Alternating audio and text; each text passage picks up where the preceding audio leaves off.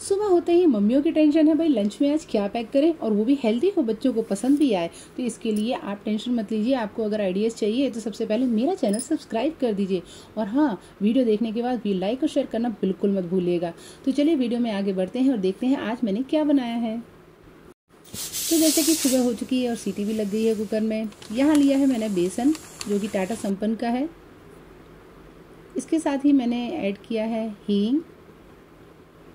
थोड़ा सा नमक और ये अजवाइन। इसके साथ ही काली मिर्च पाउडर, जीरा और ये लाल मिर्च पाउडर। अगर आपके बच्चे नहीं लेते बिल्कुल तो इसको अवॉइड कर सकते हैं। तो आपको कुछ तो आइडिया हो ही गया होगा कि मैं इसमें क्या बनाने वाली हूँ बेसन से। अब हम बेसन का मिक्स करते हुए इस तरह से घोल बनाएँगे। कहीं आप ये तो नहीं सोचने वाले कि हम इसके पकौड़े बनाने वाले हैं? बिल्कुल नहीं। यहाँ पर मिक्स करेंगे और मिक्स करते हुए एक बैटर तैयार करेंगे। फटाफट अगर किचन में बनाना है सुबह सुबह तो ये बहुत ही अच्छा ऑप्शन है। इसका बैटर की जो कंसिस्टेंसी है, वो हमें थोड़ी पतली रखनी है, क्योंकि हम इससे बनाने वाले हैं चीले। बेसन के चीले, जो कि लाइट भी होते हैं हेल्दी भी होते हैं और फटाफट भी बन जाते हैं। ये इस, इस तरीके से इतना पतला घोल होना चाहिए। इसके साथ ही मैंने यहाँ पे लिया है पनी पनीर जो कि मलाई पनीर है। इसको मैंने ग्रेट कर लिया है।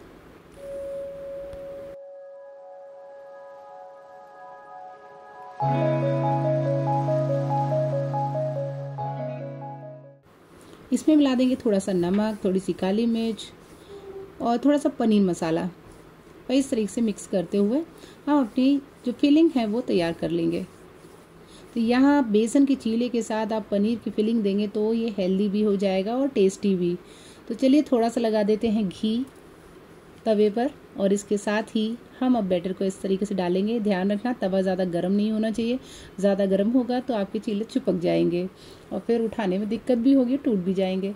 तो इस तरीके से मीडियम आँच पे आप बैटर को स्प्रेड करते हुए चीला तैयार कर लें और आप देखेंगे कि जब ये ऊपर से ड्राई हो जाए तो आप थोड़ा सा और घी डाल दीजिए स्प्रेड कर दीजिए थोड़ा थोड़ा बच्चों को वैसे घी देंगे तो नुकसान भी नहीं करेगा और ना ही उनके लिए भारी हैवी हेल्दी हेल्दी ही रहेगा आई I मीन mean. और इसके बाद आप इसे पलट दें। देखिए, चीला कितना अच्छा बना है लाइट भी है, पतला भी है। बहुत मोटा मोटा बेसन का चीला अच्छा नहीं लगता है और वो हैवी भी होता है। इधर भी घी लगा देंगे दोनों तरफ़ और इन्हें इस तरीके से फिर से फ्लिप कर देंगे दूसरी साइड तो चीला बनकर हो गया है तैयार। अब यहाँ पे मैंने लगाया थोड़ा सा पिज़्ज़ा, पास्ता सॉस। आप चाहें तो इसमें थोड़ा सा इसको टैंगीनेस और थोड़ा सा टेस्ट देने के लिए, क्योंकि बच्चे जनरली हरी चटनी वगैरह नहीं खाते हैं तो मैं ये लगा देती हूँ। आप चाहे तो थोड़ा सॉस भी लगा सकते हैं, जो आपके बच्चे खाते हों। और उसके साथ ही मैंने यहाँ पर फिलिंग को डाल दिया है, इसके ऊपर।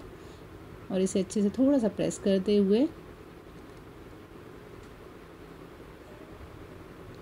आप फ्लो ऐसे रैप कर देंगे। दोनों साइड से। तो ये हमारा पनीर फिलिंग वाला चीला रेडी हो गया है और अब हम इसे पैक करने के लिए तैयार हैं।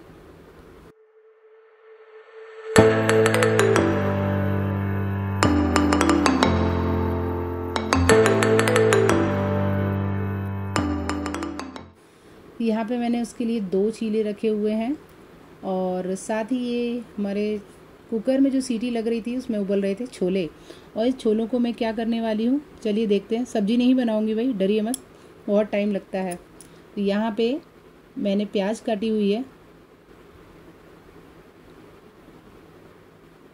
बारीक बारीक चॉप कर लेंगे। अगर आपके बच्चे प्याज, मिर्ची ये सब नहीं खाते हैं तो आप सिंपली छोलों में नमक और नींबू और काली मिर्च तीन चीज़ मिलाकर दे सकते हैं। बट मेरी बेटी बड़ी है तो वो ये चीज़ें डालकर उसे अच्छा लगता है टेस्ट आता है उसे। तो मैंने उसके लिए थोड़ा सा प्याज और थोड़ी सी ग्रीन चिली वो बहुत ज़्यादा कड़वी नहीं है, इसलिए डाल दी है। थोड़ा सा नमक, काली मिर्च और इसके साथ ही आप चाहे चाट मसाला डाल सकते हैं। और मैंने नींबू भी डाल दिया यहाँ पे। तो ये टेंगी से छोले बहुत अच्छे लगते हैं और बच्चों के लिए हेल्दी भी हो जाते हैं। तो ये एक बहुत अच्छा ऑप्शन है, इसे आप ऐड कर सकते हैं।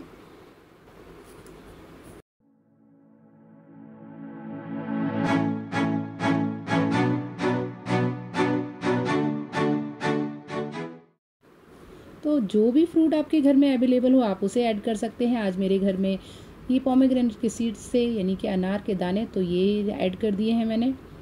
बच्चों को फ्रूट सैलड कंप्लीट मील जब हम दे देते हैं तो बच्चों के लिए सही रहता है, क्योंकि स्कूल में वो आसानी से खाना खा लेते हैं। और ये ये रख दिए हैं मैंने। सैलड के रूप में खीरे। तो ये कंप्लीट मील हो चुकी है और बच्चे इसे बहुत अच्छे से इंजॉय करते हैं स्पेशली अपना स्कूल में लंच टाइम तो सबके लिए बहुत इंपॉर्टेंट होता है। तो चलिए मिलते हैं फिर। Bye bye